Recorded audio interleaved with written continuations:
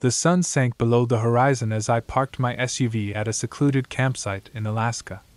The vast wilderness spread out, its darkening expanse only broken by the occasional silhouette of towering trees. I picked this spot for its isolation, craving a break from the noise of everyday life. With the engine off and the radio silent, the stillness was almost eerie. After setting up my tent and unloading my supplies, I started a small fire to fend off the night's chill. The flames danced and cast shadows among the trees, and the quiet around me grew more intense. I sat close to the fire, eating a simple dinner and shining my flashlight into the darkness. The first hour passed without anything strange happening, but then I heard it a faint rustling sound coming from the edge of the woods. I turned off the flashlight, trying to listen better. The noise stopped, and I told myself it was just an animal or the wind. I tried to shake off the creeping feeling of unease and went back to eating. Suddenly, the rustling came back, louder and closer this time. I shone my flashlight into the forest, but all I saw was darkness. I grabbed a strong stick from near the fire, my heart racing. The rustling stopped again, and the silence felt heavy and tense. An hour later, as the fire burned low, the rustling returned with a relentless intensity. I could hear it moving steadily through the bushes, coming closer to my campsite. Fear surged through me. I quickly packed up my essentials, deciding I had to get back to my SUV. I moved as quietly as I could, trying not to make any noise. Just as I was about to reach the SUV, a shadow moved in the beam of my flashlight. I froze, my breath caught in my throat. In the dim light, I saw a large, dark shape, a moose, its huge antlers making it look even more menacing in the shadowy forest. It was the source of the noise, searching for food nearby. I felt a wave of relief as I carefully got into the SUV and locked the doors. The moose wandered off, leaving the campsite in peace. I drove away, deciding to spend the night at a nearby lodge instead. The next morning, I came back to pack up my gear. The campsite was undisturbed, and the moose had gone. As I loaded my stuff into the SUV, I noticed something unsettling. The trees around the campsite had deep, claw like scratches running up their trunks, and the underbrush was flattened in a way that suggested something had been moving through it recently. Something much bigger and more dangerous than a moose. I drove away with a shiver running down my spine, wondering what else might be lurking in the dark, wild woods. The experience left me with a chilling realization sometimes, what you hear in the woods isn't just the wind or animals, but something far more sinister.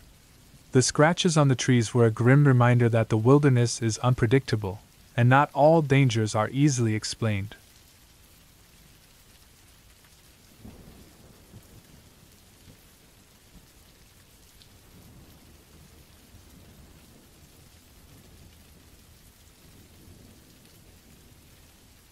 I had always wanted to go camping in the woods, so when my friend invited me to join him for a weekend trip, I agreed without hesitation. He said he knew a great spot in South Carolina, at Sesquicentennial State Park. He said it was one of the best states for camping, with plenty of trails, wildlife, and scenery to enjoy. We arrived at the park on a Friday afternoon and set up our tent at a campsite near the lake. The park was huge, covering over 1,400 acres of land. There were other campers around, but not too many. We had enough privacy and space to feel like we were in the wilderness. The campsite was clean and well maintained, with access to water, toilets, and fire pits. We unpacked our gear, made a fire, and cooked some hot dogs and marshmallows. It was a perfect evening, and we talked and laughed until the stars came out. The next day, we decided to explore the park and do some hiking. We packed some snacks, water, and a map, and headed to the nearest trailhead. The park had over 12 miles of trails, ranging from easy to moderate. We chose a loop trail that circled the lake, and promised to offer some scenic views. The trail was well marked and easy to follow, and we enjoyed the fresh air and the sounds of nature. We saw some birds, squirrels, and deer along the way, but nothing too exciting.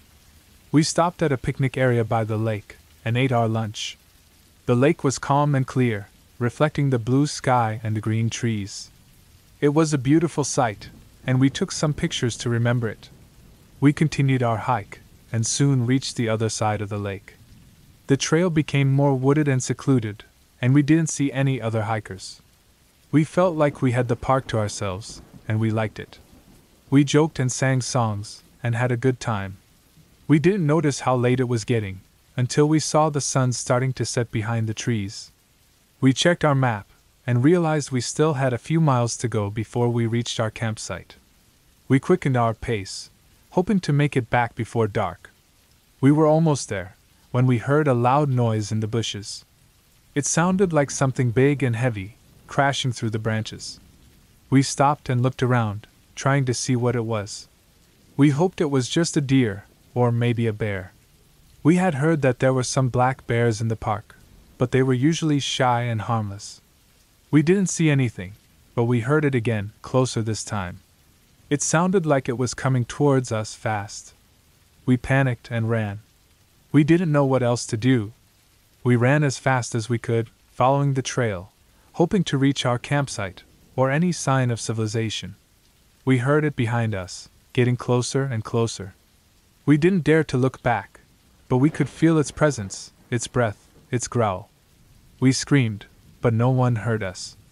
We were alone, and we were prey. We ran until we couldn't run anymore. We tripped and fell, and rolled down a slope. We landed on the ground, bruised and bleeding. We looked up and saw it. It was a wolf, but not like any wolf we had ever seen. It was huge, bigger than a bear, with black fur and red eyes. It had long, sharp teeth and claws, and a scarred face. It looked like a monster, a nightmare, a beast. It looked at us, and we looked at it. We knew we were going to die. It lunged at us, and we closed our eyes. We waited for the pain, the blood, the end. But it never came. Instead, we heard a gunshot and a thud. We opened our eyes and saw the wolf lying on the ground, motionless. A bullet hole in its head. We looked around and saw a man standing over us, holding a rifle. He was wearing a park ranger uniform and had a badge on his chest. He looked at us and smiled. Are you guys okay? he asked. You're lucky I was patrolling this area. That thing has been killing campers for weeks. I've been trying to track it down, but it's been too smart and too fast. Until now. I finally got it. It's over. You're safe. We couldn't believe it. We were alive. We were saved. We thanked the ranger and hugged him. He helped us up and led us to his truck. He drove us to our campsite and checked our wounds. He said we were fine, just some cuts and bruises. He said he would report the incident. He said we should pack our stuff and leave the park as soon as possible. We agreed. We packed our stuff and left the park. We never went camping again.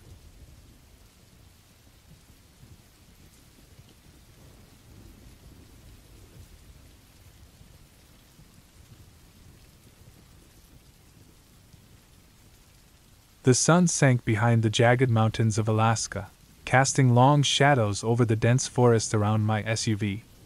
I'd planned this weekend to escape the everyday grind and enjoy some peace in nature. I parked my SUV at a quiet spot beside a small, out of the way lake and set up my tent nearby. The calmness of the wilderness was amazing. As night fell, the air turned crisp and cold, and the sky was filled with stars. I sat by the fire, the warm glow from the flames providing some comfort. The forest was eerily quiet, except for the occasional rustle of leaves and the distant hoot of an owl. I tried to push away the uneasy feeling creeping up my spine, convincing myself it was just the solitude. Around midnight, I heard a faint noise from the woods. It sounded like footsteps crunching slowly through the underbrush. My heart raced. I grabbed a flashlight and swept it through the darkness, but the light only reached a few feet ahead. The footsteps stopped, leaving behind a creepy silence. I rushed back to my SUV, locked the doors, and kept the flashlight on. I couldn't shake the feeling that someone, or something, was watching me. Every shadow and noise seemed to heighten my fear. Hours passed with no more sounds from the woods. Exhausted, I finally fell into a restless sleep, with the night feeling like it would never end. morning came with the first light of dawn. I got out of my tent, hoping it had all been a bad dream. As I packed up, I noticed something unsettling fresh tracks around my SUV, leading from the edge of the forest to where I'd been camping. They were too big to be from a deer and looked like someone had been walking in circles around my vehicle. In a hurry, I packed up the last of my things and got into the SUV. I needed to leave immediately, my sense of adventure replaced by an urgent desire to get back to safety. As I drove away, I glanced back at the forest. The trees stood silent and still, as if watching me leave. When I got home, I realized how strange and frightening the experience was. I later found out that the area I had camped in had been the site of several missing person cases. It made me wonder if those footsteps I heard were not just some random noise but someone, or something, searching for me in the dark. The tracks around my SUV were never explained, and the thought of what could have happened if I'd stayed another night gave me chills. The forest had its secrets, and some of them should never be uncovered.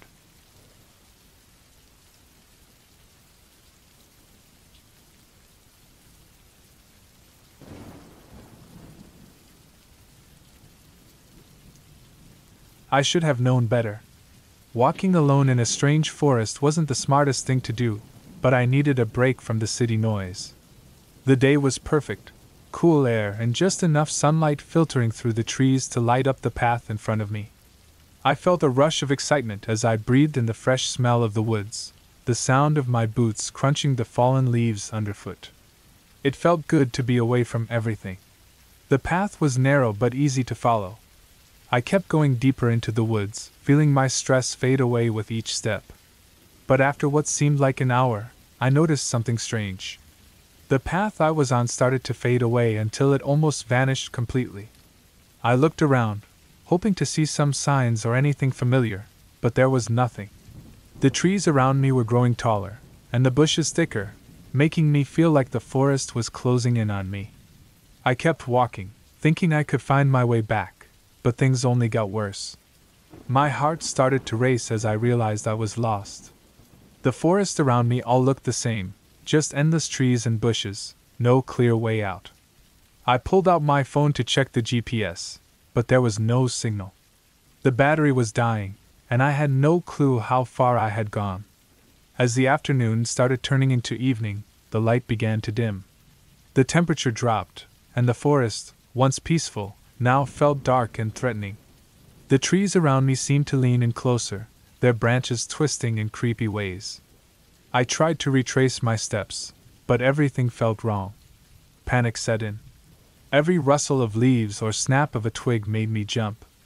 It felt like someone, or something, was watching me, though I knew it was probably just my mind playing tricks on me. After what felt like hours of wandering aimlessly, I was completely exhausted, both in body and mind. I sat down on a fallen tree, trying to calm down, but my thoughts were racing.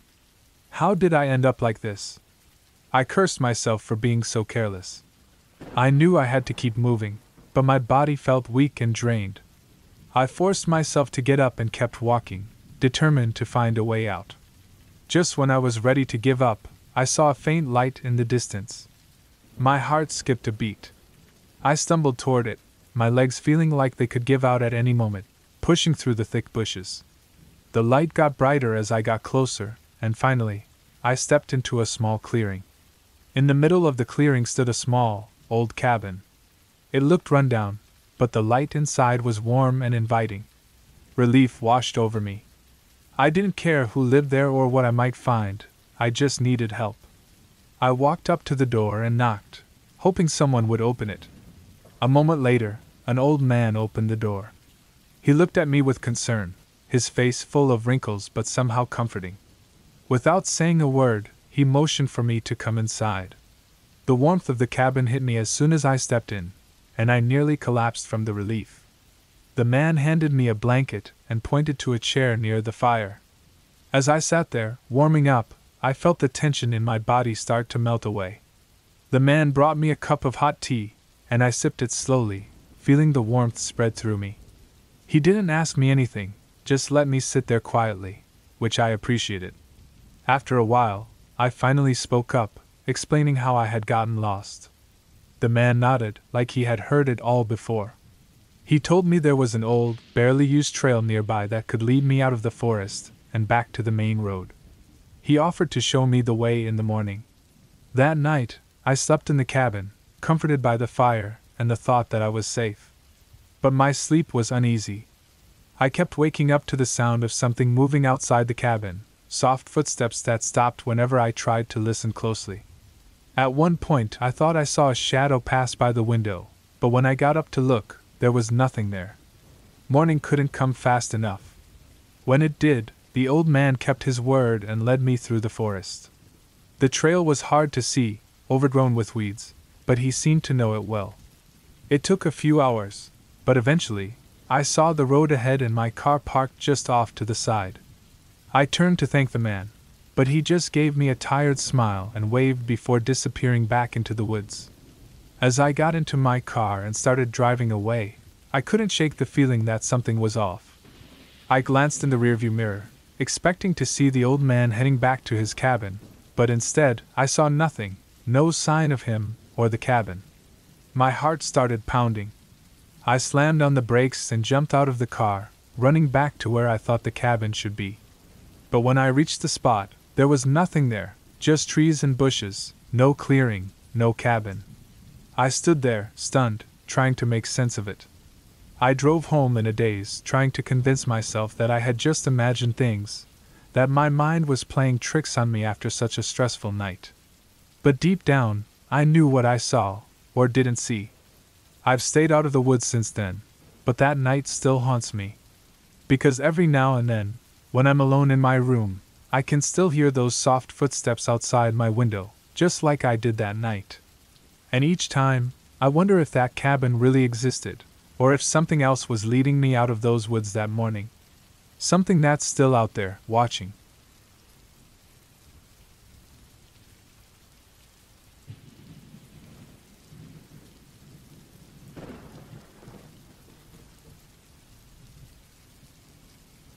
I was deep in the forest, far from town. I had been walking all day, enjoying the fresh air and the quiet around me.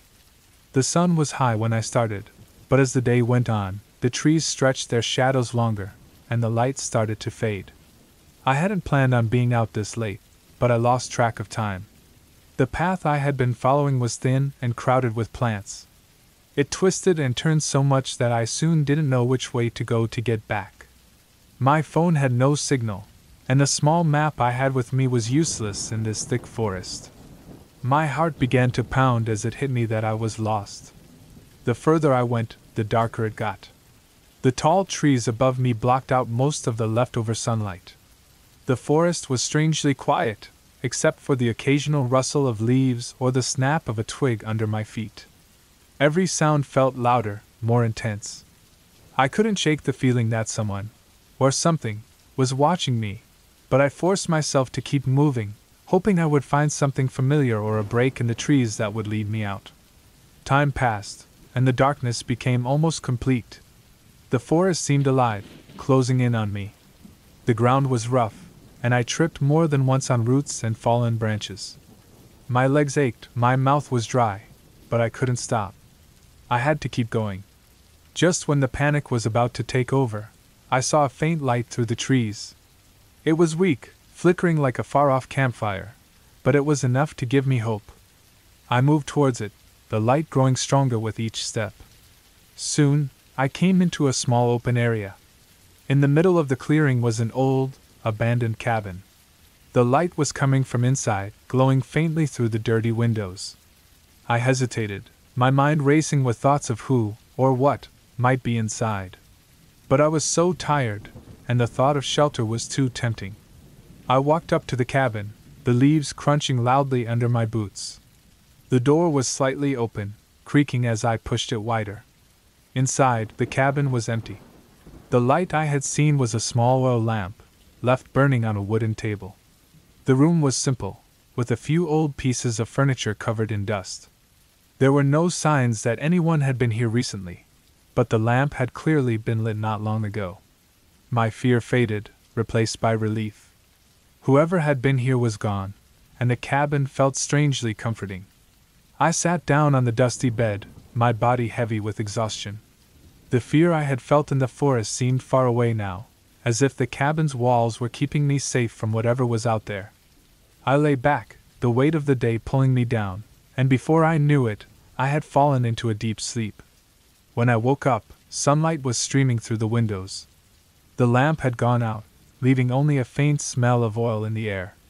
I stepped outside and was greeted by a clear, crisp morning. The forest, which had seemed so scary in the dark, now looked calm and peaceful. I felt a wave of relief wash over me. I noticed a narrow path leading away from the clearing, one I hadn't seen in the dark. I followed it, and within an hour, I found myself back on a trail I recognized. The cabin, the fear, the darkness, it all felt like a bad dream. As I made my way back to town, I couldn't help but feel thankful. I had been lost, but I found my way out, and the forest had given me the shelter I needed. Yet, as I walked, something nagged at the back of my mind. I couldn't shake the thought of that cabin, standing alone in the middle of nowhere. Who had lit that lamp?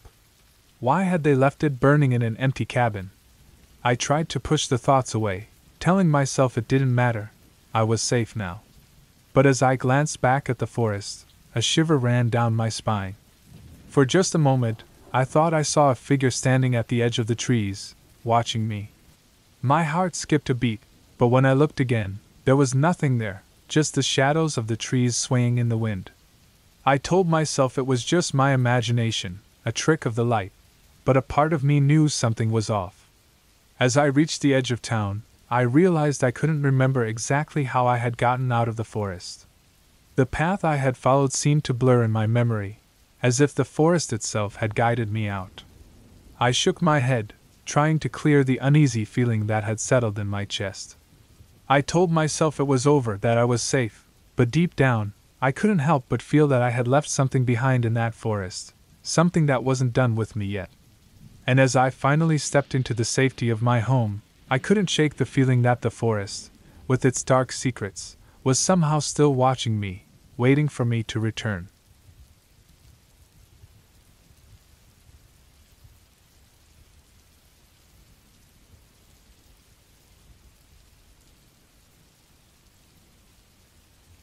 I've always liked the quiet of the forest, how the trees seem to wrap around you, blocking out everything else. But that evening, something felt different. The air was thick and damp, and the shadows seemed darker and longer than usual. I decided to take a walk, hoping the fresh air would help me relax after a long, tough day. As I went deeper into the woods, the sun started to set, painting the sky with an odd orange light that filtered through the trees. The path I usually followed seemed unfamiliar. The trees, which normally felt like old friends, now seemed unfriendly, their twisted branches like hands reaching out to grab me. I told myself I was just being silly, that it was all in my head. But the further I walked, the more lost I felt. The path twisted and turned in ways that didn't make sense. The ground beneath me was soft and uneven, and I tripped more than once. It was strange. This was the same forest I'd walked in so many times before, but now it felt like a completely different place. Suddenly, I heard something a rustling in the bushes, followed by the sharp snap of a branch. My heart started racing as I looked around, trying to see through the thick mist that had settled in. I tried to tell myself it was just a deer or a fox, but the sound didn't fit. It was too steady, too careful. It wasn't the panicked movement of a scared animal, it was something moving towards me. I started to walk faster, trying to shake the feeling that I was being watched. But no matter how quickly I moved, the sound seemed to stay right behind me, just out of sight. The trees felt like they were closing in on me, the mist getting thicker, making it harder to see. My breathing became shallow, my steps hurried and shaky. I tripped again and fell hard onto my knees. When I looked up, I realized I was no longer on the path at all. I was surrounded by thick bushes and trees that seemed taller, more threatening. Panic hit me as I realized I didn't know which way to go. The sounds around me grew louder, closer. I forced myself to get up, ignoring the pain in my leg. I needed to get out of there. I picked a direction and started moving, pushing through the thick undergrowth, my clothes catching on branches, the mist sticking to my skin like a cold sweat. My mind was racing with thoughts of being lost, of spending the night in this dark, eerie forest. I couldn't let that happen. As I kept going, the forest began to change. The trees started to thin out, and the ground became firmer under my feet. The sounds that had been following me started to fade, replaced by the distant sound of running water. I followed the sound, hoping it would lead me out of the woods. After what felt like hours, I finally broke free from the trees and found myself in a small clearing. A narrow stream ran through the middle of it, the water clear and cold. I knelt by the stream, splashing water on my face, trying to calm down.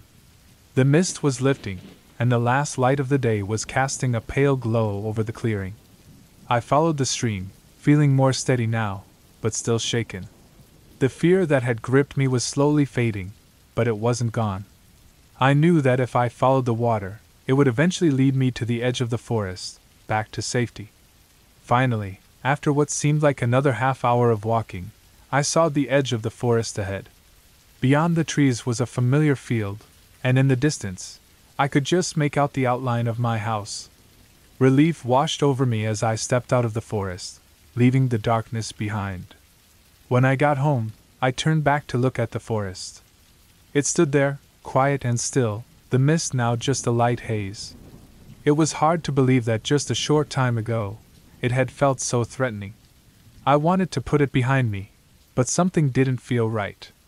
As I stood there, catching my breath, I noticed something that sent a chill down my spine. In the distance, at the edge of the trees, something moved. It was just a shadow, barely visible in the dim light, but it was there. And then, just as quickly, it disappeared back into the darkness. I stared at the spot where it had been, my heart pounding. The forest had gone quiet again, almost too quiet, and I realized that whatever had been following me, whatever had been watching me in those woods, it was still out there. And somehow, I knew it would always be out there, waiting. I closed the door behind me, locking it tight, but the uneasy feeling stayed with me. That night, as I lay in bed, I couldn't shake the sense that something was still watching, just beyond the trees.